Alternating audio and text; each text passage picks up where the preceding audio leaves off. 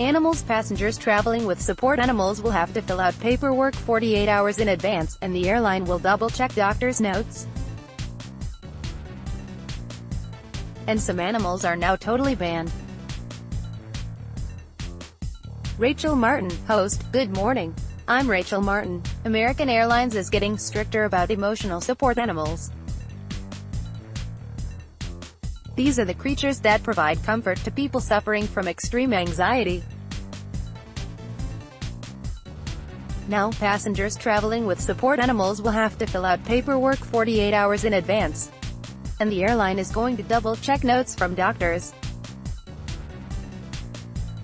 Some animals are now totally banned, no insects, goats, hedgehogs, ferrets, spiders, chickens or hawks or any animal that smells. Miniature horses are apparently still okay. It's Morning Edition. Copyright Copyright 2018 Nepalese Rupees. All rights reserved.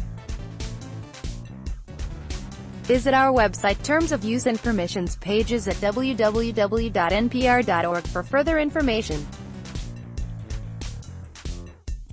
NPR transcripts are created on a rush deadline by Verbatim, Inc., an NPR contractor, and produced using a proprietary transcription process developed with NPR.